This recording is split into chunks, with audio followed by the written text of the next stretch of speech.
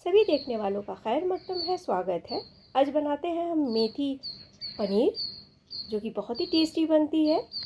और हेल्दी तो है ही मेथी के सीज़न में आप एक बार ज़रूर बन ट्राई करके देखिए। और, मेथी खिलाना इस तरह से बहुत ही आसान होता है।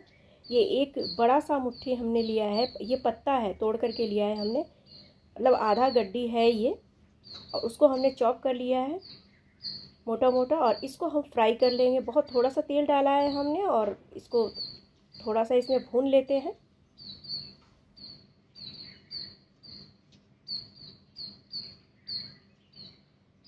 ये बस इस तरह से देखिए। अब इसको अलग रखते हैं और ये मसाले के लिए तैयारी कर लेते हैं। प्याज है दो, एक टुकड़ा अदरक है, चार पाँच लहसुन की कली है और चार टमाटर है, मीडियम साइज़ का है। इन सब चीज़ों को काट करके हम रख लेते हैं और पैन गरम करेंगे। इसमें धनिया डालेंगे वन टेबल स्पून ज़ीरा है ये वन फोर्थ टी स्पून और ये दोनों चीज़ों को हम रोस्ट करेंगे ड्राई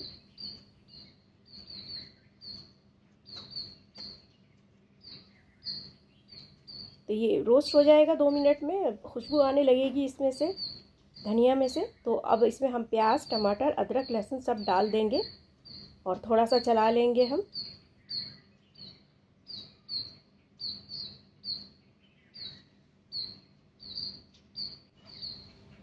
इसको सूखा ही हम भून लेंगे और फिर ढक देंगे तो टमाटर अपना पानी छोड़ेगा, उसी से गल जाएगा।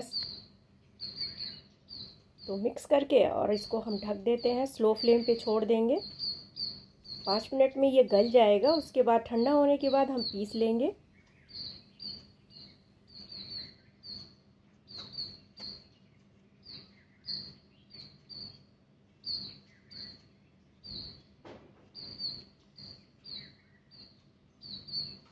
ये गल चुका है तो इसको हम रहने देते हैं। ठंडा हो जाएगा, फिर पीस लेंगे।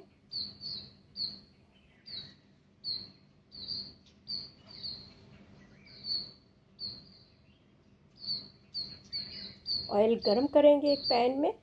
टू टेबल स्पून है ये। इसमें डालेंगे थोड़ा सा ज़ीरा। एक रेड चिली है, काश्मीरी रेड चिली है ये। और ये भुन जाएगा, तब हम अपना मसाला डालेंगे इसमें। एक छोटा सा टुकड़ा दालचीनी का डाला है हमने। और अब इसमें हम डाल देंगे मसाले को। मसाले को भून लेते हैं, तेल अलग होने तक।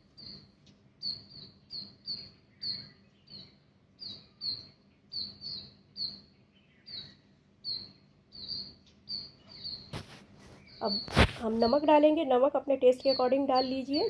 थोड़ा सा हल्दी डालेंगे, दो चुटकी।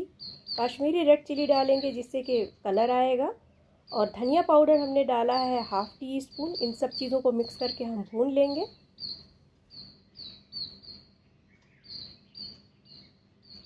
मसाला भुन गया है। अब इसमें हम डालेंगे अपना भुना हुआ जो मेथी है, उसको डाल करके इसमें मिक्स करेंगे।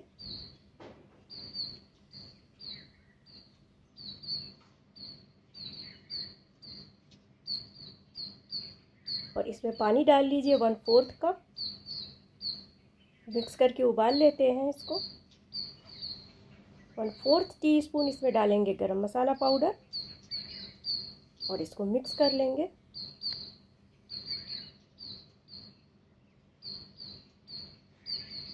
दो सौ ग्राम पनीर लिया है हमने। अपने हिसाब से काट लीजिए बड़ा छोटा। और पैन को हमने गरम किया है तो तेज़ गरम कीजिएगा कि जल्दी फ्राई हो जाए, नहीं तो ये चुई हो जाता है पनीर। तो फ्राई करके हमने इसको पानी में डाल दिया है। इससे बहुत ही सॉफ्ट बनता है। तो मसाला हमारा उबल गया है। इसमें हम अपने पनीर को डाल देंगे। दो हरी मिर्च डालेंगे स्लिट करके। वन टीस्पून कसूरी मेथी डालेंगे।